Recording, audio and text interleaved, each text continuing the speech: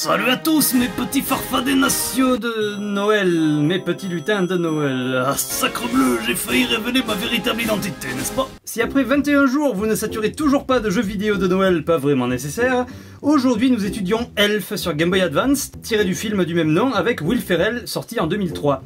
Film correct au passage, faut juste supporter Will Ferrell qui fait le gamin dans son costume. En effet, c'est un homme qui, tout bébé, est allé se perdre dans la hotte du Père Noël et a grandi parmi les elfes, qui vieillissent bien moins vite que nous autres. Quand il apprend son histoire, Buddy, c'est son nom, ou plutôt sa marque de couche, part à New York retrouver son père biologique, joué par James Caan, qui a pris du galon depuis Misery.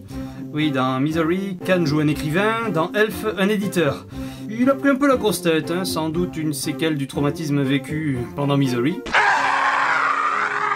Dans le jeu, le voyage de Buddy est parsemé de Smarties qu'il n'est pas obligé de récupérer, d'autant que ça me rappelle un autre jeu de Noël dont je ne veux plus qu'on me parle. Non Buddy va rencontrer des ours blancs qui, au moindre contact, le tuent et le renvoient au checkpoint. En fait, ça n'enlève qu'un point de vie, mais c'est compliqué de rester sur place et de clignoter 3 secondes, comme dans la plupart des jeux sortis depuis 10 ans. On trouve d'autres bonus sans utilité comme euh, des sucettes et des glands géants. N'attendez pas de blagues sur les sucettes et sur les glands géants, merci. Dans la grotte, euh, des stalactites nous tombent dessus et se reforment très vite. Il faut pas un certain temps, beaucoup plus long dans la vraie vie, je crois. Il n'y a pas que des niveaux en vue de côté, on en trouve à la vue de dessus, tel celui où il faut sauter de plateforme en plateforme en évitant de tomber à la flotte. Ce qui vous ramène aussi au dernier checkpoint avec ces plateformes ridiculement petites, si petites que comment ça s'appelle encore une plateforme? Tu comprends ce que ça fait d'être un ours blanc en 2020 avec le réchauffement climatique? Ouais, je m'embête pas, je prends la plateforme mobile, juste à côté du chemin difficile avec les plateformes qui coulent. Et bordel, j'en ai marre de répéter plateforme deux fois par phrase Ah, il y a du progrès, dans la dernière je ne l'ai dit qu'une fois. Une fois arrivé à New York, en voulant éviter un canard, je me suis rendu compte qu'on ne pouvait pas se baisser. Ils l'ont trop donné ce costume. Les choses se gâtent quand Buddy décide soudainement de récupérer toutes les ampoules de Noël d'une rue immense. On vient de bien méchant jusque là, sauf que maintenant, sa vie descend toute seule. Il peut courir euh, jusqu'à l'essoufflement, et quand la barre de vitesse est au plus bas, tu pries le Père Noël de pouvoir vite trouver une porte à tambour pour te revigorer. Logique. Si Buddy meurt dans ce niveau, le jeu t'affiche euh, tes batteries sont à plat. Ah bon, c'est un robot, Buddy Robuddy oh, oh. Niveau suivant, vous voilà agent de la poste Tu tries le courrier, les colis rouges dans la sortie rouge, les colis verts dans la sortie verte. Les jaunes, je sais pas, il y a une sortie jaune, ça doit vouloir dire quelque chose. Tu livres des paquets en jouant au memory avec les boutons de l'ascenseur, puis tu retries des colis, puis tu refais un memory, puis tu re-retries, puis re-rememory. Rassurez-vous, la difficulté augmente, le nombre de chiffres à retenir dans l'ascenseur passe de 3 à 4, puis 5 chiffres. Et combien d'étages? Il paraît qu'il y en a des mille, des mille, des mille. C'est l'Empire State Building, pas une échelle pour aller au ciel Je passe vite sur les trois derniers niveaux.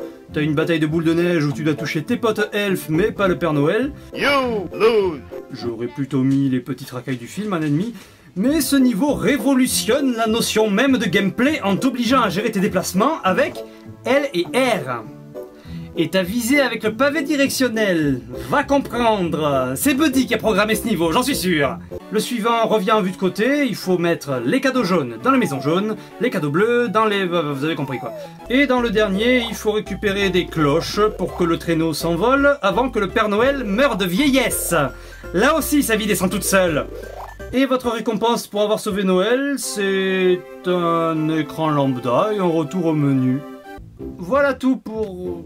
Quoi, des mini-jeux? Quel mini-jeu?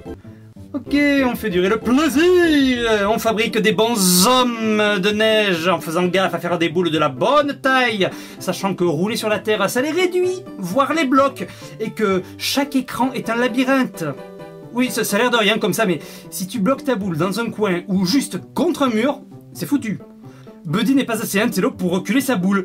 Du coup, tu recommences encore, et tu recommences encore, et tu recommences encore, encore, encore, encore, encore, encore, encore, encore, en espérant ne pas te tromper. Jamais faire un bonhomme de neige n'aura été aussi chiant que dans ce jeu, sachant que tu dois en construire au moins 10. Peut-être plus si j'ai eu la flemme de compter. Les autres mini-jeux, c'est un autre memory avec euh, des jouets à mettre dans l'ordre dans la haute du Père Noël. Ça dure trois tableaux de rien du tout, et j'ai absolument rien pigé au jeu du cordonnier. Je fais des paires comme il faut, mais à la fin il reste 4 chaussures solitaires et je me fais engueuler.